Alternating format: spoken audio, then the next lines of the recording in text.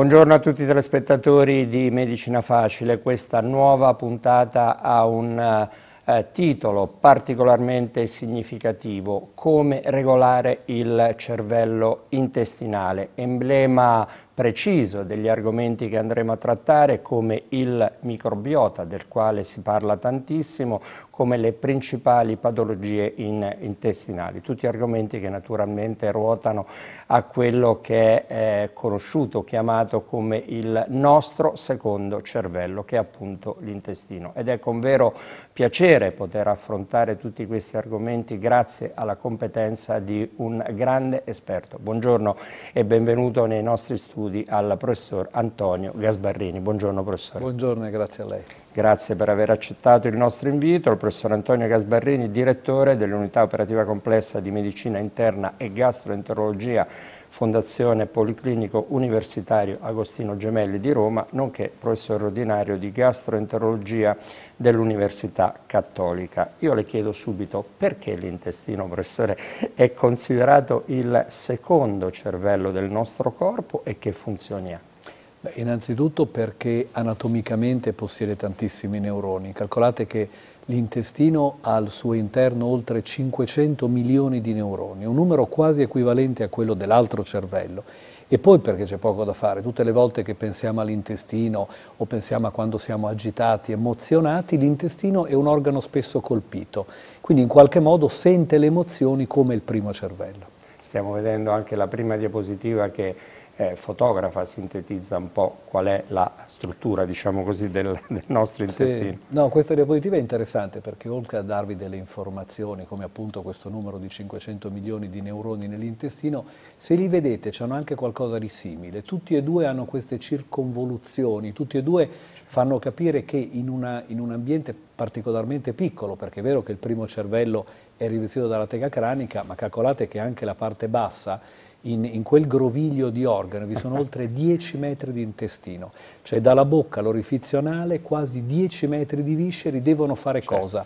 Devono trasformare quello che noi mangiamo in qualcos'altro, in un'unghia, in un capello, in un pezzo di pelle, quindi una vera e propria certo. macchina miracolosa che lavora continuamente con l'altra, che è il grande controllore, che è il primo cervello, il sistema nervoso centrale.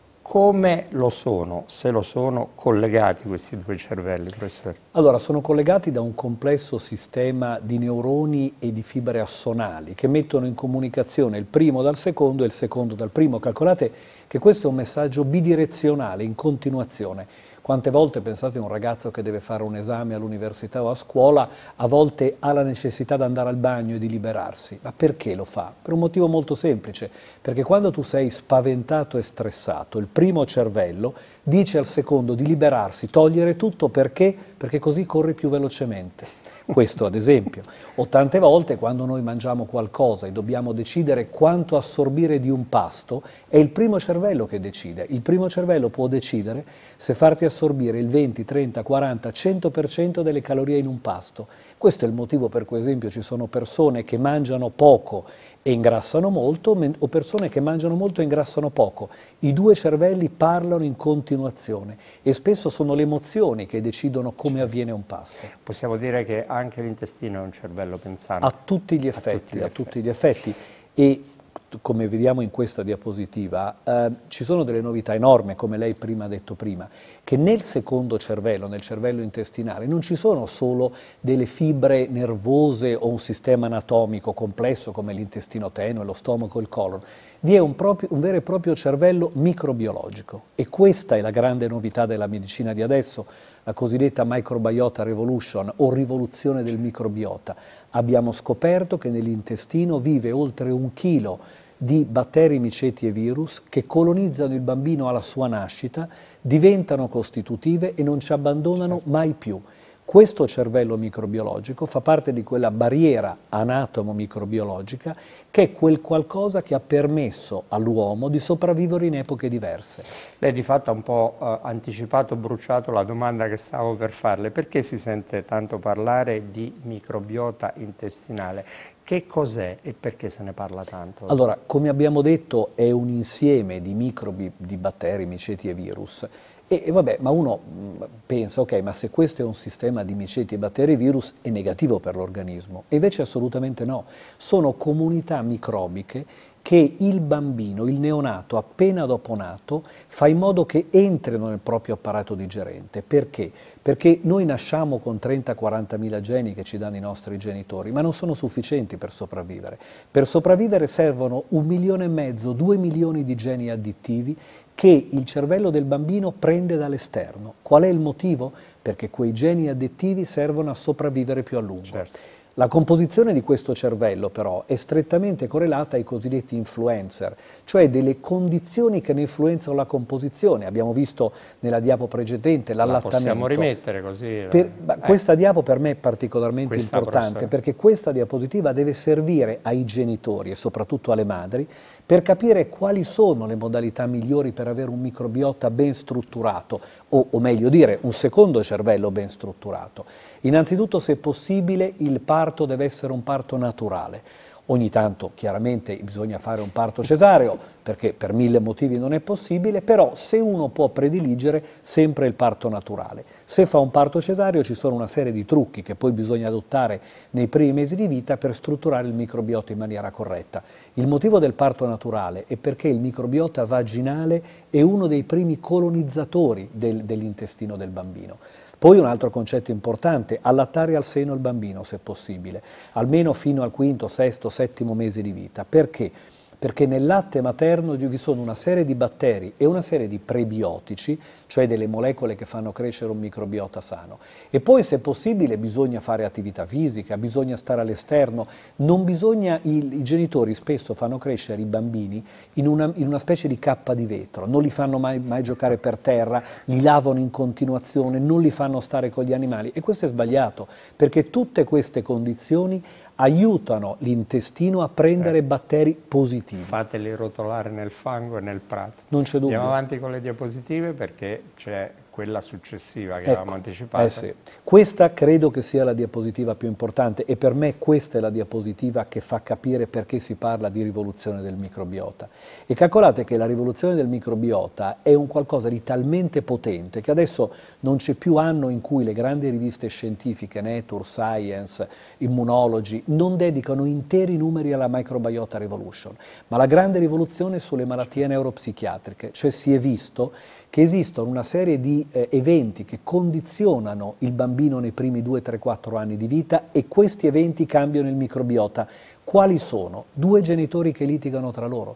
Per un bambino avere un ambiente conflittuale nei primi anni, il papà e la mamma che litigano, o se no un padre troppo autoritario, o paradossalmente una madre troppo permissiva, una madre che vizia troppo i bambini, una madre o un padre depressi, un padre alcolista, problematiche economiche in famiglia, tutte queste condizioni cosa fanno percepire al bambino? Pericolo pericolo attorno a lui. Il bambino non è in grado di capire perché due genitori litigano, quindi l'unica percezione che mette è il pericolo, qualcosa che può succedere. E allora che cosa fa? Fa in modo che il suo intestino sia colonizzato da batteri che portano geni infiammatori.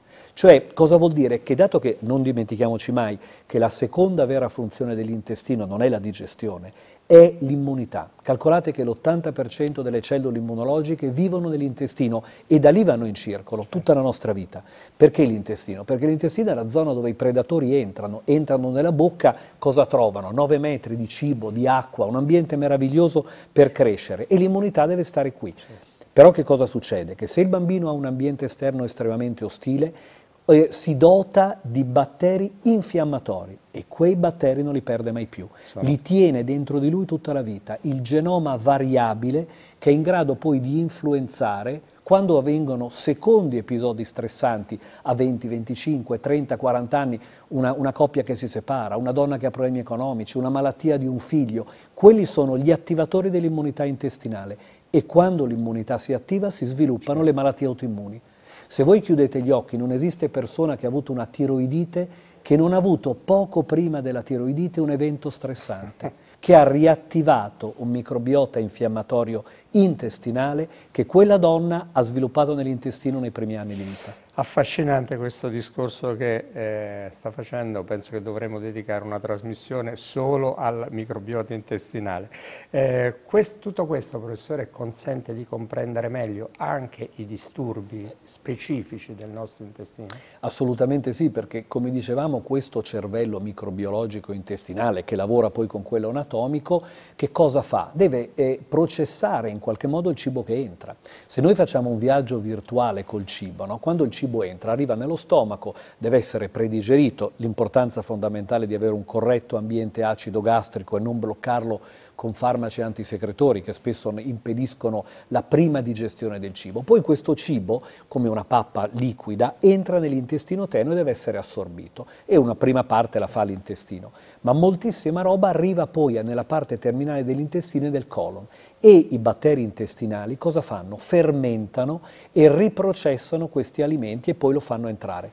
Durante questo processo di fermentazione si produce gas. Ad esempio, il sintomo classico, il meteorismo, il gonfiore addominale, non è altro che la fermentazione dei prodotti finali della digestione da parte dei batteri intestinali. E, e parleremo di meteorismo. Sì, sì, sì. Purtroppo, come si vede bene in questa diapositiva, abbiamo detto che ci sono tanti eventi stressanti che portano a un microbiota male strutturato. Il microbiota può essere povero, pensiamo a tutte le volte che facciamo antibiotico terapia protratta, no? che poi abbiamo diarrea al quinto, sesto, settimo giorno e dobbiamo interromperla. Abbiamo semplicemente danneggiato il nostro cervello intestinale. O, come ho detto prima, un bambino che ad esempio, vi faccio uno scenario negativo, ehm, parto cesareo, allattamento non al seno, due genitori che litigano moltissimo, problematiche economiche quel microbiota sarà un microbiota super infiammatorio, attento a attivare l'immunità in continuazione, ma questo microbiota può essere causa di malattie, può essere causa di infiammazione continua, può essere causa di maldigestione.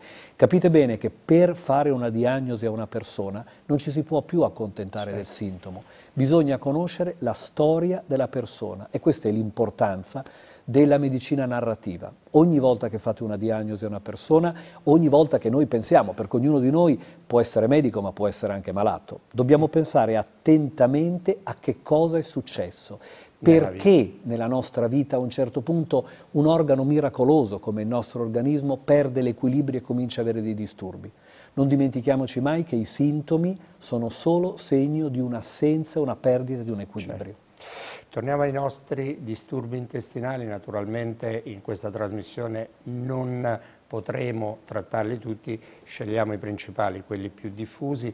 Quali sono, oh, professore? abbiamo anche una diapositiva molto sintetica che ci fa capire anche su quali patologie ci, concentrere, eh, ci concentreremo. Beh, non c'è dubbio che la prima, quella perlomeno in prevalenza maggiore, è la sindrome dell'intestino irritabile. Poi abbiamo, dopo, e ne parleremo successivamente, altri due mondi, le intolleranze alimentari e il grande sintomo del meteorismo, che di fondo hanno molto a che fare con la sindrome dell'intestino irritabile.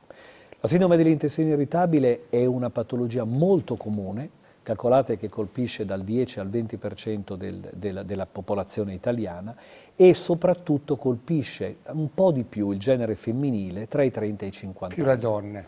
Po' più le donne, un po' più le donne ed è interessante, forse verrebbe da banalizzare dicendo che sono più sensibili, forse in qualche Abbiamo modo anche sì. una bella diapositiva che ci fa capire quello che sta dicendo il professore. Sì. Le donne in qualche modo sono più sensibili, calcolate che questo cervello intestinale è dotato di moltissimi nocicettori, cioè dei recettori che sentono il dolore e hanno la sensibilità e la donna è più sensibile dell'uomo verosimilmente, in qualche modo sente prima disturbi come ad esempio l'iperfermentazione e la produzione di gas intestinale o il dolore o le coliche o la motilità o una maldigestione. E in qualche modo che cos'è questo intestino irritabile? Quello che spesso si volgarizza, noi parli, diciamo la colite spastica no? o la colite. Nella realtà dei fatti dobbiamo stare attenti perché la colite implica un'infiammazione del colon, dell'ultima parte. Intestino irritabile è più corretto perché per intestino si intende intestino tenue e colon, quindi quasi 7 certo. metri di organo. I disturbi quali sono principali? Un disturbo inglese, un nome inglese difficile da tradurre, il discomfort, che vuol dire in qualche modo il malessere intestinale. Noi gli organi non dovremmo sentirli. Noi generalmente una persona sana non sente il suo apparato digerente. Una persona sana non sente un dolore articolare, ma quando uno ha un'infiammazione immediatamente sente, sente che qualcosa che c'è non va. L'intestino irritabile vuol dire che dopo che io ho mangiato sento che c'è qualcosa che non va, sento l'intestino, sento gonfiore, sento pesantezza, a volte sento la necessità di andare in bagno e un altro tipico sintomo dell'intestino irritabile è il miglioramento dei disturbi dopo che si è andati in certo. bagno. In qualche cosa l'organismo vuole eliminare rapidamente il contenuto per ritrovare un equilibrio. Abbiamo due diapositive che ci fanno oh, capire bene quali sono i sintomi eh, patiti, avvertiti da una persona che soffre di sindrome del dell'intestino irritabile.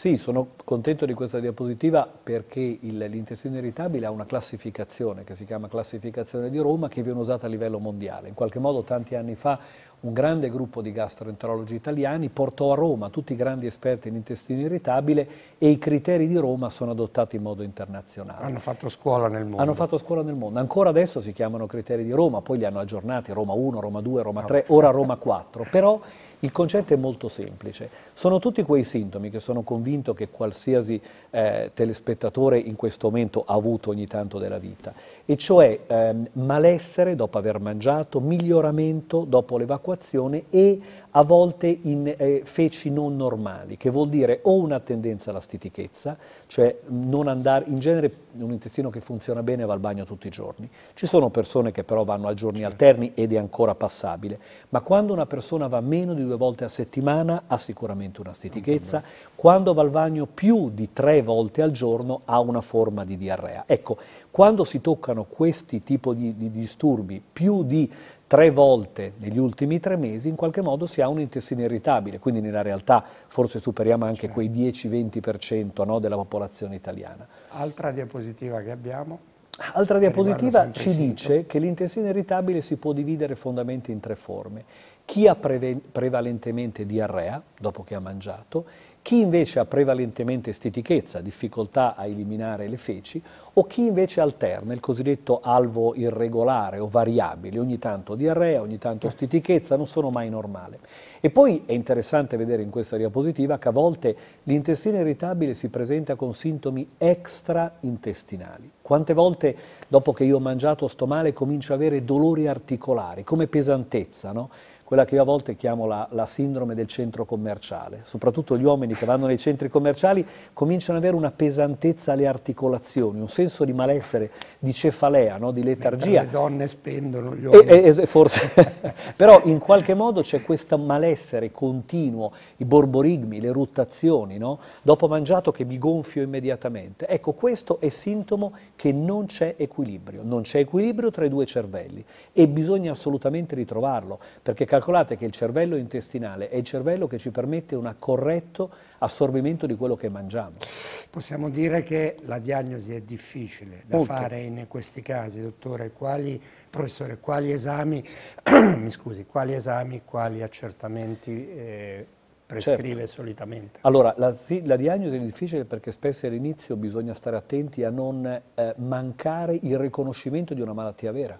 Calcolate che molte volte l'intestino irritabile maschera una malattia reale, okay? la malattia celiaca, un morbo di Crohn, una colite ulcerosa, eh, l'inizio di un malassorbimento intestinale, una ischemia intestinale, una, una, un infarto dell'intestino che sta cominciando così, una gastrite cronica, un'esofagite, cioè l'intestino è un organo centrale del nostro organismo. Calcolate che una persona, ad esempio, con scompenso cardiaco, dove il cuore non funziona più bene, ha un ristagno di sangue nell'intestino e quindi ha disturbi da intestino irritabile, o così chi soffre di broncopneumopatia cronico-ostruttiva, o anche chi soffre di insufficienza renale, ha immediatamente uno, una gastrite uremica, cioè stiamo attenti a non non, a non eh, diciamo, mancare il riconoscimento di malattie. Però, detto che è stata fatta una buona diagnosi, abbiamo tolto tutte le altre malattie, a questo punto ci possiamo concentrare su questo intestino irritabile. Chiaramente se una persona cala di peso, se una persona comincia ad avere sangue nelle feci, ecco, in tutti questi casi bisogna approfondire. Fatta una buona diagnosi, ci dobbiamo concentrare su questo. Come lo trattiamo l'intestino irritabile? Allora, eh, dobbiamo sapere che molte delle persone con intestino irritabile possono sviluppare delle intolleranze o delle allergie e toccheremo meglio questi argomenti successivamente. Però quelli che non hanno questi disturbi cosa possiamo fare? Dobbiamo a quel punto Partiamo dal presupposto che la sindrome dell'intestino irritabile non è una malattia di per sé, ma è solo un insieme di sintomi per i quali non si conosce nella realtà la motivazione. Ricordo a tutti che fino a 25-30 anni fa la maggioranza dei celiaci non era diagnosticata e quei pazienti venivano etichettati come intestino irritabile. Una volta che è stata scoperta la celiachia e fatta la diagnosi, sono finiti nel mondo della celiachia. Quindi la sindrome intestino irritabile ad oggi ci dice che non sappiamo ancora il vero motivo. Quindi ci dobbiamo occupare dei sintomi, dobbiamo andare a curare, a eliminare ai nostri pazienti il dolore addominale, ed esistono ad esempio una serie di, di, di, alimenti o una serie di farmaci, degli antispastici che possono togliere il dolore. Quando abbiamo una grande produzione di gas possiamo fare delle diete prive di alimenti fermentanti, quindi che producono certo. gas. Quando abbiamo problemi di diarrea o di stitichezza possiamo usare dei prodotti, se possibile prodotti naturali, sempre, sempre, sempre prediligere la dieta, quello che noi mangiamo o correggere una dieta sbagliata. A volte io ho delle persone che vengono da me e dicono io ho stitichezza continua o gonfiore, quindi un perfetto intestino irritabile, io gli chiedo ma dimmi la tua dieta come è fatta e mi dicono io tu, mangio tutto ma io non mangio verdura perché non mi piace. È chiaro che se una persona non prende fibre non può certo. andare in bagno, non produce in qualche modo una massa fecale e non evacui. È normale che persone che mangiano fondamentalmente pasta, riso e pane non producono quasi massa fecale, quindi sono ovviamente stitici. E quelli che dicono, ah ma io dopo che mangio le verdure mi gonfio, ma per forza, stai facendo funzionare bene l'intestino, cioè non meravigliamoci che un bel piatto di verdura ci gonfi un po', o un bel piatto di legumi, che sono peraltro un alimento straordinario, pieno di proteine vegetali, un buon piatto di ceci e di lenticchie, certo che ci Buoni. gonfia un po', però dopo ci farà andare al bagno e, e sicuramente avremo un grande beneficio. Eh, abbiamo tre diapositive che farei vedere velocemente ai nostri telespettatori, chiedo al professor Gasbarini di commentarle, perché mai, eh, soprattutto in queste situazioni, sia la dieta che corretti stili di vita aiutano tantissimo. Allora, questa diavo per me è molto importante perché dimostra da una parte la dieta, cioè la dieta dovrebbe essere sicuramente ricca di fibre. Eh, in questo momento vanno molto di moda queste diete FODMAPs free, cioè libere da, eh, FODMAPs è un termine inglese per dire oligosaccaridi o zuccheri di vario tipo, fermentabili o non fermentabili. Queste diete prive di zuccheri e di fibre, sì sicuramente vi riducono i disturbi, ma io le ritengo in parte molto pericolose, perché sono diete che spingono a effettuare un'alimentazione non sana, cioè priva, povera di fibre. La dieta deve essere ricca di fibre. Ricordatevi che l'uomo per centinaia di migliaia di anni non ha mangiato pasta e pane. L'uomo ha sempre mangiato quello che trovava in natura. E che cosa trovava in natura? Trovava fondamentalmente fibre, trovava verdure, trovava ortaggi, trovava frutta, trovava bacche. Questa è l'alimentazione certo. naturale. Però è chiaro che se uno poi ha dei disturbi devastanti può sicuramente ridurre un po' la quantità di fibre. Nell'altra parte c'è l'importanza dell'esercizio fisico ah, e della dieta. dieta. Si vedeva una donna che corre. Corretto. Ecco, l'esercizio fisico è fondamentale perché quando voi fate esercizio fisico fate muovere la muscolatura addominale e calcolate senza una buona muscolatura retta addominale l'intestino fa fatica a contrarsi, per cui l'importanza di un sano esercizio fisico. Velocemente altre due diapositive. Questa diapositiva fa vedere, come diceva appunto, l'importanza delle fibre. Si possono usare anche delle fibre in qualche modo che si possono comprare, prendere in farmacia, prendere nei nostri supermercati. L'inulina L'inulina è uno straordinario prebiotico, un, il prebiotico è qualcosa che dà da mangiare ai batteri intestinali e gli fa produrre più acidi grassi a catena breve, che sono delle molecole che servono fondamentali per l'intestino, per riassorbire l'acqua. E calcolate che però l'inulina, oltre che in una farmacia, si può prendere banalmente in un supermercato. Un bel piatto di cicoria è ricchissimo di inulina. Un piccolo suggerimento dopo questa trasmissione, riabituatevi a mangiare delle, delle, verdure eccezionali come la cicoria che dovrebbe essere presente in tutte le nostre tavole. Assolutamente sì, questa è un'altra diapositiva, le chiedo un commento veloce Gua professore perché questa vorrei parlare. È, è una diapositiva che dico molto velocemente, va molto di moda in questo momento perché ora si parla molto di medicina integrata o integrativa. Cioè il medico eh, o il comunicatore non devono più parlare solo di, di, malattie o di farmaci, devono dare suggerimenti alla vita della certo. persona, devono dire ad esempio a una persona di trovare equilibrio nel lavoro, di se hanno un lavoro devastante cambiarlo, se hanno problematiche enormi in famiglia affrontarle, ma qui dentro c'è scritto anche prendere ad esempio un animale in casa. Un animale può essere molto utile per trovare l'equilibrio mentale di una persona, eh, stare con persone positive, tenere lontane le persone negative, se è possibile. Eh, cioè, tutte, è, è vero, però tante volte uno si infila in, in, un buio o in un cul-de-sac non, e non ne riesce a venire fuori. E calcolate che se la psiche non ne viene fuori, non ne viene fuori neanche certo. l'organismo, il collegamento cervello-organismo è ferreo. Due minuti per parlare di intolleranze alimentari, così concluderemo gli ultimi due o tre minuti di trasmissione parlando di meteorismo. Vabbè, questa è una grafica che ci fa capire che parleremo di, di intolleranze. Professore, inquadramento... Le, le due diffusione... grandi intolleranze, reazioni avverse agli alimenti e il grande monto, si dividono in allergie, dove c'è un meccanismo immunomediato, tipica l'allergia alle nocciole, l'allergia alla pesca, dermatite, gonfiore, a volte purtroppo anche difficoltà a respirare, asma bronchiale, e poi ci sono le intolleranze, che sono il grande numero, oltre il 95% sono in, sono in enorme crescita. Generalmente, non è del tutto esatta, però diciamo non hanno un chiaro meccanismo immunomediato. Il più tipico esempio è l'intolleranza al lattosio. Persone che non hanno un enzima che si chiama lattasi, prendono il latte, si gonfiano e a volte hanno diarrea. Certo. È chiaro, il disturbo è l'intestino irritabile, ma la malattia in questo caso è l'intolleranza al lattosio. Come le trattiamo? Allora, in alcuni casi, banalmente, dobbiamo fare delle diete da esclusione. È chiaro che se io sono celiaco devo togliere il glutine. Se io ho una ipersensibilità al glutine, malattia in esplosione, molti dubitano che esista realmente, però non c'è dubbio che ci sono persone che quando prendono il glutine si gonfiano di più e non sono celiache. In quel caso ridurre o eliminare il glutine dalla dieta. Intolleranza al lattosio, c'è poco da fare ci esistono, devo dire, degli enzimi commerciali che si possono prendere, esistono anche degli alimenti delattosati, pensiamo al latte senza lattosio, e quindi in qualche modo eliminare questi alimenti certo. dalla dieta. Chiudiamo con quella che possiamo definire la situazione peggiore, i sintomi peggiori sì. legati al meteorismo, professore. Intanto, quando il nostro tratto digerente contiene tanta aria, che si fa? Allora, partiamo dal presupposto che l'organismo produce gas in continuazione. Il microbiota intestinale produce tantissimo gas. Se un intestino è ben strutturato, però, questo gas non ci disturba, anzi è quello che ci stimola ad andare al bagno ed evacuare.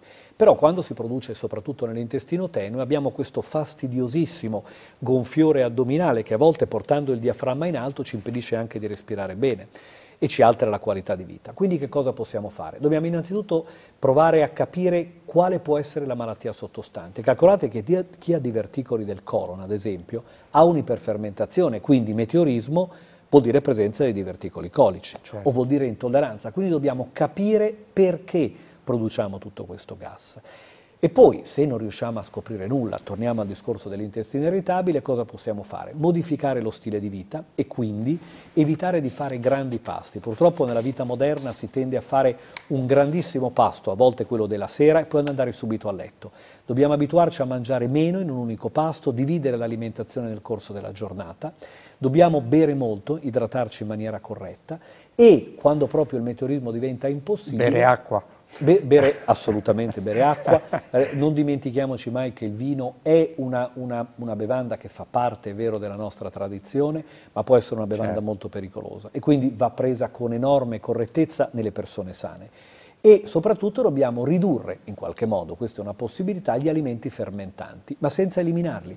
Banalmente, abbiamo detto quanto è importante la frutta e la verdura, ora ci sono dei centrifugati che eliminano la quantità di fibra in eccesso, o ad esempio se prendiamo i legumi, che vi ricordo sono straordinari contenitori di proteine vegetali, possiamo fare dei passati, ad esempio. Quindi dei piccoli trucchi per non eliminarli dalla dieta, ma renderli un pochino più digeribili e meno causa di produzione di gas. Però non dimentichiamoci mai che tutte le volte che l'intestino non funziona bene, e torniamo ai due cervelli, c'è qualcosa che non funziona nella nostra vita e nel legame tra i due cervelli. Come la chiudiamo questa trasmissione, professore? Che messaggi lasciamo ai nostri telespettatori? Che la Microbiota Revolution, che è qualcosa che sta cambiando completamente la medicina, tutte le aree della medicina, non è qualcosa di astratto, ma finalmente abbiamo una rivoluzione della medicina che entrerà nella pratica di tutti i giorni ed entrerà non solo nella cura dell'organo, perché non dimentichiamoci mai che a noi medici non devono interessare gli organi,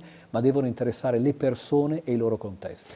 Abbiamo una diapositiva che riguarda proprio queste considerazioni finali, eccola qua, la possiamo far vedere ai nostri telespettatori. Un'ultima domanda, a che punto siamo sul microbiota? Siamo solo all'inizio di un universo immenso? Siamo all'inizio di un universo immenso, cioè noi, la medicina che io ho studiato nel passato non esiste più. Bisogna conoscerla, non bisogna dimenticarla mai perché il passato è il, il, motore del futuro, però quello che sta succedendo in medicina adesso scardinerà ogni concetto. La ospiteremo ancora per un aggiornamento proprio sul microbiota intestinale. Grazie, grazie per essere stato con noi al professor Antonio Gasbarrini, direttore dell'unità di medicina interna e gastroenterologia della Fondazione Policlinico Universitario Agostino Gemelli di Roma. È stato un vero piacere ospitarla. Grazie a tutte le persone che hanno lavorato a questa puntata di Medicina Facile. Francesco Specchiulli in regia, Andrea Di Fabio in post produzione. Grazie a voi telespettatori. Con voi ci vediamo la prossima settimana. Grazie ancora e arrivederci.